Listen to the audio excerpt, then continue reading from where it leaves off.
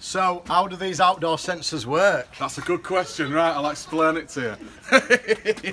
right, so it is just basically an NTC on a wall. So it, the, the, the temperature will hit it and it takes the temperature and it feeds that back to the boiler. Right. So if the boiler's using a modulating control, which this one will be, Yeah. okay, so the boiler looks, it says, right, it's got a target temperature internally, it's got an external temperature, and then it makes a calculation, right, well, what can we get away with the least amount of heat to heat the house? Right. The outdoor temperature is going to have a positive impact on the house. Yeah. It's going to warm it up. Yeah. Okay, so there's, if we can get away with cutting the gas rate down by maybe 10% while the heating's on, because outside we're getting that influence, fair play, and that's that's the efficiency of it. They're fantastic. They Right. really are. So with the modulating control inside as well, it makes it, you can fit it without the modulating control, Yeah. but it's really good with the modulating control, which this has. Right. And efficiency wise then? Improves it massively. Right, okay. massively.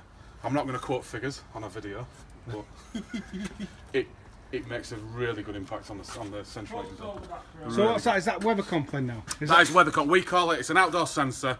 Uh, it's known as weathercomp in the trade, or there's other ways you can call it. But it's our, we have the outdoor sensor, and we have the inside sensor. So inside sensor is a modulating, programmable room thermostat with connectivity. So it's the it's the full full shebang. and what so does it connect to? what is it connect to? So it's all through what we call a bus interface. So it's our it's BridgeNet technology that we use for our programming. So it's all connected via that into the boiler. Color coded plugs into the boiler. The design so the plug can only go in the relevant hole. Um, it's designed for the installer in mind. And how does customer use it? Does the customer user. As far as weather comp, they have no interference with the weather comp whatsoever.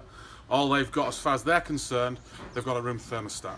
So yes, it's a modulating programmable room thermostat, but in essence to the customer, it's a programmable timer.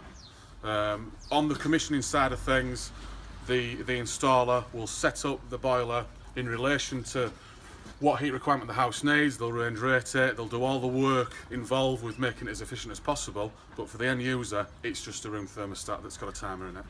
So it takes a lot of the, the complicated stuff that's involved. The, the, the end user's really happy they've got it, but they have no real involvement in, in it.